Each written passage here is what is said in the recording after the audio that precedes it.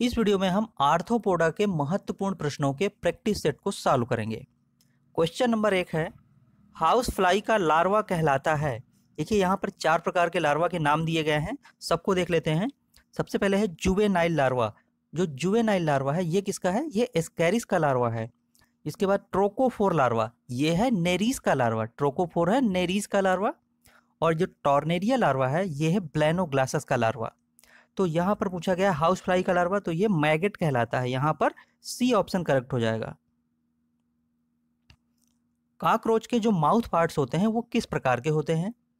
तो देखिए, जो माउथ पार्ट्स होते हैं, उसमें से one pair labrum, one pair mandible, one pair maxillae और एक लेबियम तथा एक हाइपोफेरिंग्स होते हैं। तो ये मैंडिबुलेट प्रकार के होते हैं। तो यहाँ पर ऑप्शन ए करेक्ट हो जाएगा।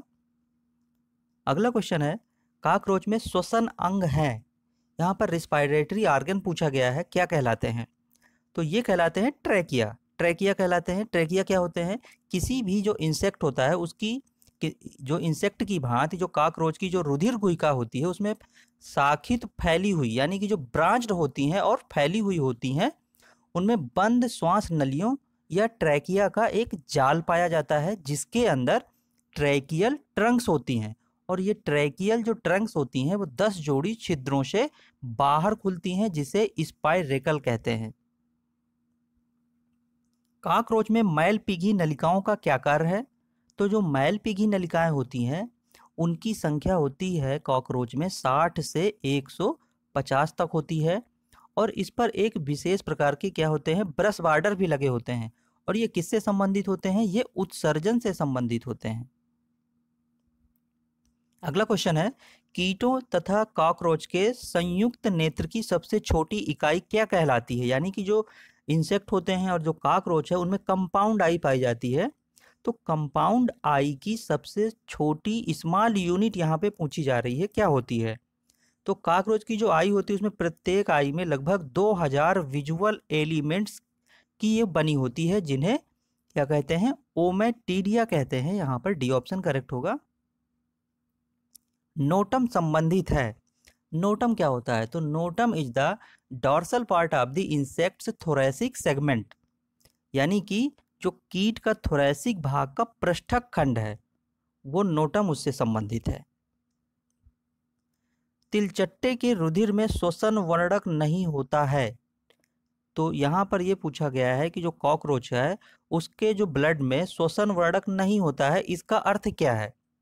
तो इसका अर्थ है कि जो टिश्यूज होते हैं, उसमें ऑक्सीजन आंतर कोशिक कोशिकाओं द्वारा सीधी पहुँच जाती है। यहाँ पर डी ऑप्शन करेक्ट होगा। अगला क्वेश्चन है, निम्नलिखित में से किसकी उपस्थिति द्वारा मेल कॉकरोच और फीमेल कॉकरोच को पहचाना जा सकता है? किसके द्वारा? तो देखिए, जो गुदा सूख द्वारा होता है, यानी कि एनल स्पाइन के द्वारा दोनों को पहचाना जा सकता है तो यहाँ पर डी ऑप्शन करेक्ट होगा। निम्नलिखित में से कौन सा कीट सोशल आदत का, यानी सामाजिक कीट कहलाता है? तो देखिए, जो टर्माइट्स होते हैं, ठीक है? टर्माइट्स मतलब दीमक। इनको कहते हैं कि यह एक सामाजिक कीट है, ये सामाजिक आदत का कीट है। कैसे? जो सुसंगठित कॉस्ट वाले समुदाय में रहते हैं और ये टर्माइट्स का मुख्य फ़ूड क्या होता है? सेलुलोज होता है। इनको वर्कर सोल्जर पंख सहित पंख विहीन आदि में विभेदित भी किया जा सकता है। निम्नलिखित में से कौन सा इंसेक्ट नहीं है?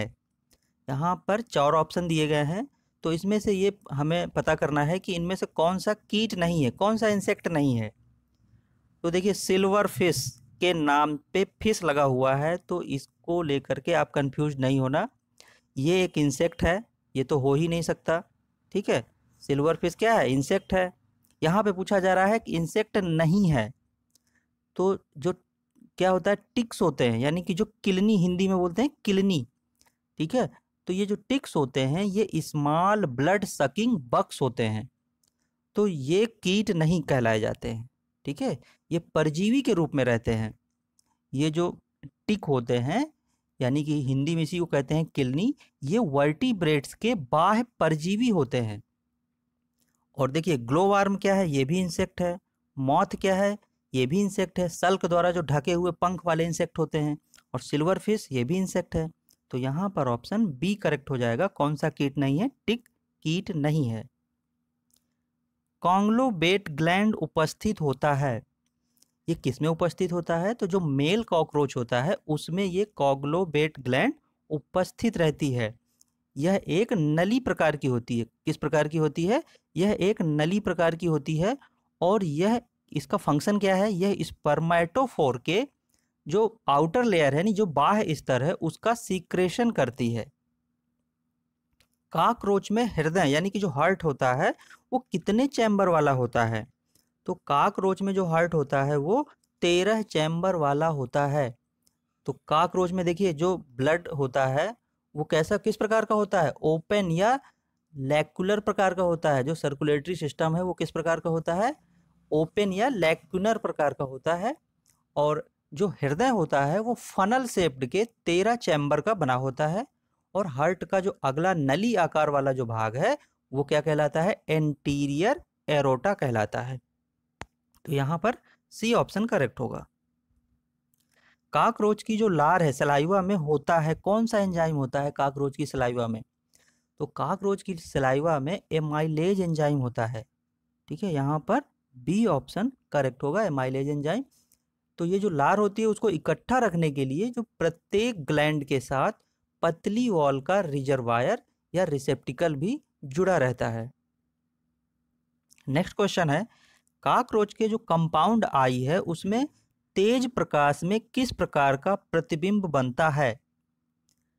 तो इसमें देखिए क्या होता है कि जो काकरोच का जो संपूर्ण आई होती है, उसके द्वारा दिखाई देने वाला प्रतिबिंब प्रकाश के बहुत से धब्बों के मिलने से बनता है स्पॉट तो इस प्रकार के प्रतिबिंब को क्या कहते हैं? मोजेक या एपोजिशन प्रतिबिंब कहते हैं तो यहाँ पर बी ऑप्शन करेक्ट हो जाएगा एपोजिशन प्रतिबिंब. काकरोच में पेरीट्रीम है। पेरीट्रीम क्या होती है? एक स्पाइरेकल को घेरने वाला एनुलर स्क्लेराइट होता है ये इसमें से जो ट्रैकियल ट्रंक्स होती हैं, वो दस जोड़ी, ठीक है? ट्रैकियल ट्रंक्स क्या होती हैं? दस जोड़ी छिद्रों से होकर के बाहर खुलती हैं, जिन्हें स्पाइरेकल या स्टिगमेटा कहते हैं। प्रत्येक स्पाइरेकल के चारों ओर एक एनुलर स्क्लेराइट होता है, जिसे पेरीट्रीम कहते हैं। तो यहाँ पर ऑप्शन बी करेक्ट होगा। काकरोच में पेरीट्रीम क्या है? एक स्पाइरेकल को घेरने वाला एनुलर स्क्लेराइट। काकरोच में पेरी विसरल साइनस किससे संबंधित है? तो जो काकरोच है, उसकी जो सीलोम को क्या कहते हैं? हीमोसील कहा जाता है। और जो हीमोसील है, वो किसमें बटा होता है? वो तीन साइनस में बटा होता है। कौन कौन सा? पेरिकार्डियल साइनस पेरीविसरल साइनस और पेरी न्यूरल या स्टर्नल साइनस तो यहाँ पे पूछा गया है कि पेरीविसरल साइनस किससे संबंधित है? तो ये हीमोसील से संबंधित है, क्योंकि हीमोसील को ही तीन साइनस में डिवाइड किया जाता है, बटी रहती है ये।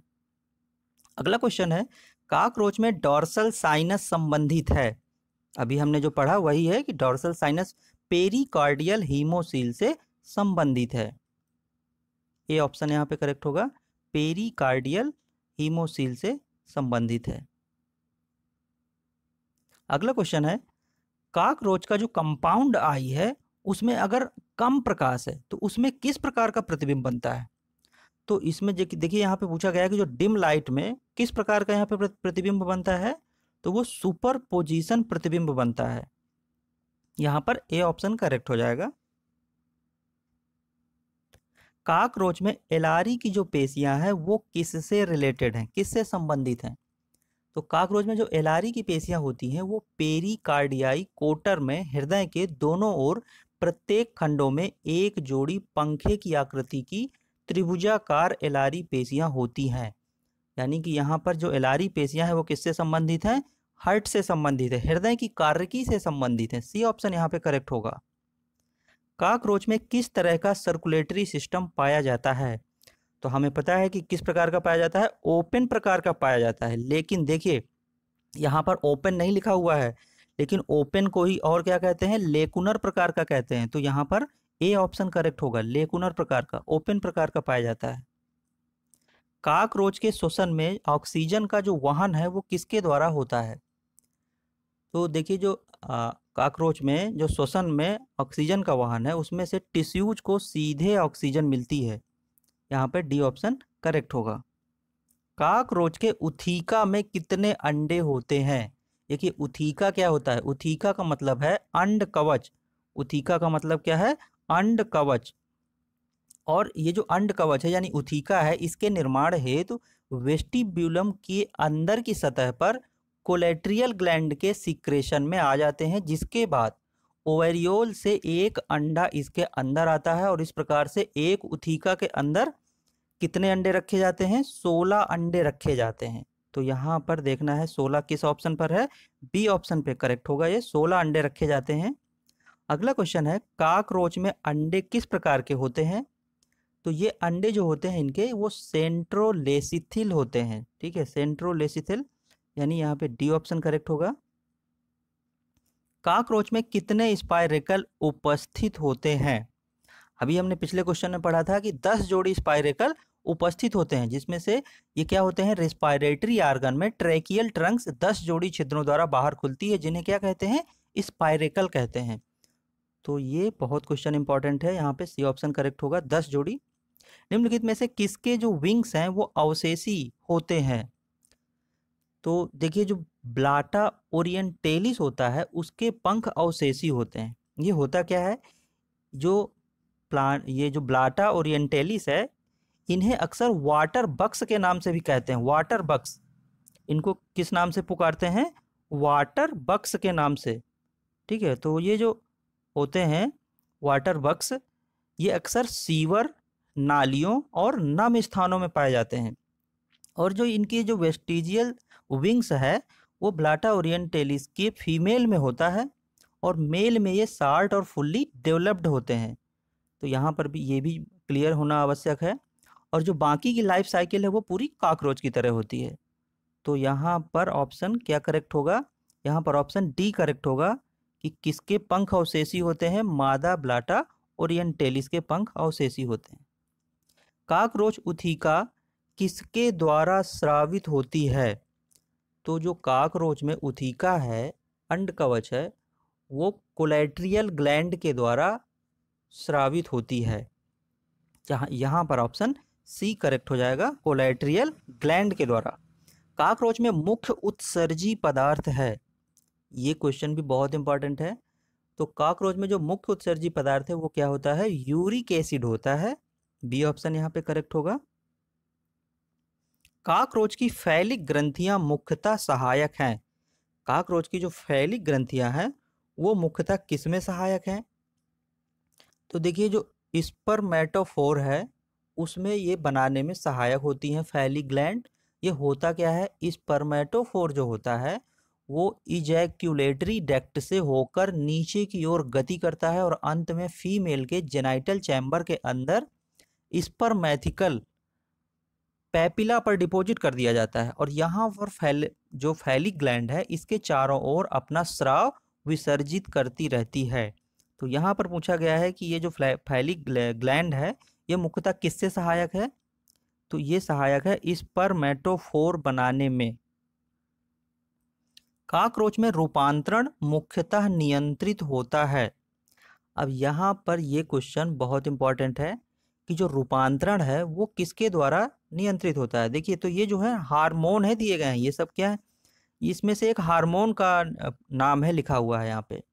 तो जो कार्पोरा एलेटा है, ठीक है, कार्पोरा एलेटा ये क्या होता है? एक हार्मोन होता है और ये टिश्यूज की वृद्धि और विभेदीकरण का नियंत्रण करके रूपांतरण एवं मोल्टिंग को समय से पूर्व हो जाने पर रोकने का काम करता है।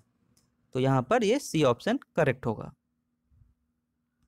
काकरोच में जो विजन है, वो किस प्रकार का होता है? दृष्टि जो होती है, वो किस प्रकार की होती है? तो इसमें ये क्वेश्चन बहुत बार पूछा गया है। काकरोच में जो दृष्टि होती है जो विजन होता है, उसमें से एक प्रकाश चिन्ह, एक ओमेटीडियम द्वारा बनता है और इस प्रकार के प्रतिबिंब को क्या कहते हैं? मोजेक या एपोजिशन प्रतिबिंब कहते हैं। तो यहाँ पर ए ऑप्शन करेक्ट होगा। तो फ्रेंड्स, चैनल को सब्सक्राइब कर लीजिए, वीडियो को शेयर कीजिए और बेल आइकन प्रेस कर लीजिए, जिससे आपको समय से वीडियो का नोटिफिकेशन प्राप्त होता रहे।